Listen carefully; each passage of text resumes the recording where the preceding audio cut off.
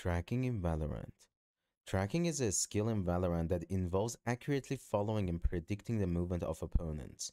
By being able to anticipate your opponent's movements, you can make more informed decisions about where to aim and when to shoot, giving you a significant advantage in the game.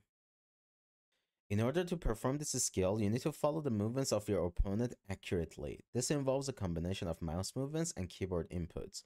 You use your mouse to aim your crosshair at your opponent and follow their movements as they move around the game environment.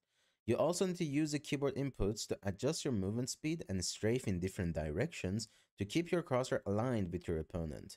The goal is to maintain a consistent aim on the enemies, making it easier to take them down when the opportunity presents itself.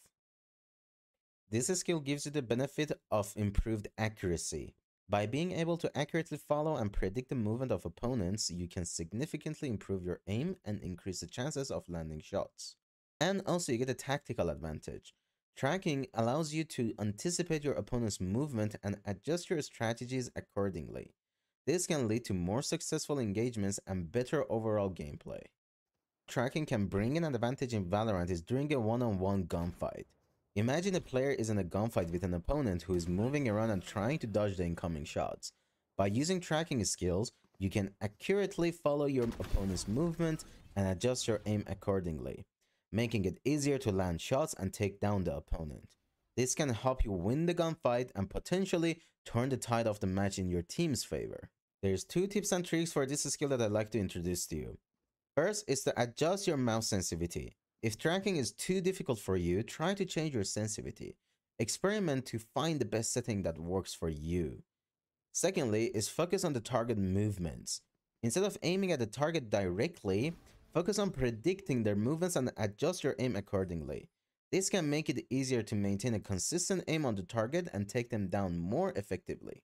Two bad habits that you should avoid. First is overcompensating. Don't overcompensate for your opponent's movement by moving your crosshair too far in one direction. Instead, focus on making a small adjustment and maintaining a consistent aim on the target. Secondly is tunnel vision. Avoid getting tunnel vision and focusing solely on tracking your opponent. Instead, be aware of your surroundings and adjust your movement and position as needed to avoid becoming an easy target for the other enemies. There's two ways that you can practice this skill. First is using the in-game shooting range. Practice against bots to help build muscle memory and develop good tracking habits. Secondly is aim trainers. Use aim trainers such as AimLab or KovaaK's to improve your tracking accuracy.